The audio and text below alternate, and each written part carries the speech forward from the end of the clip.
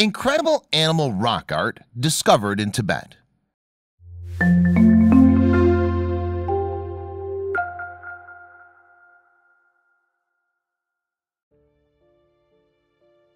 Lake Namtso, one of two holy lakes in Tibet, forms the center of the valley floor and is surrounded by the Nyenchen Tanglha mountain range. In 1986, Robert Hefner, president of the Bradshaw Foundation, found himself standing here on top of the world, or what felt like it, a little while before he made a remarkable discovery. This is how he described it. The deep blue Tibetan sky encompassed barren, craggy, rocky peaks, full of spectacular geological structures typical of the Tibetan Plateau. Besides the road was a pile of carved religious rocks and a pole with many fluttering prayer flags.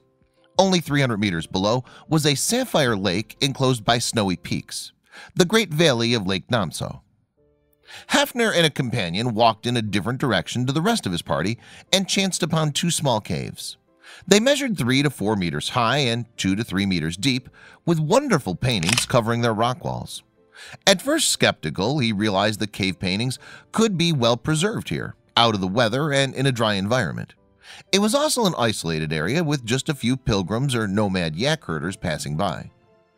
The smooth walls of the caves were an off-white limestone cut through by a blue mineral that could have been azurite.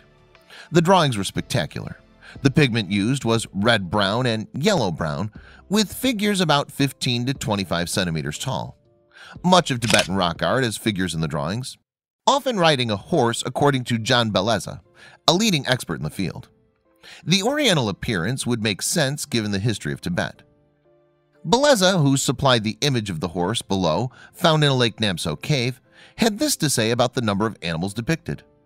The prominent depiction of animals can be further attributed to the role they've played in indigenous religious traditions, mythology, spirit mediumship, and lore surrounding the old clans of the region. The most common animal in Upper Tibet rock art is the wild yak or drong, a potent symbol of Tibet's distinct identity. Horses, mostly with mounted figures, are also common.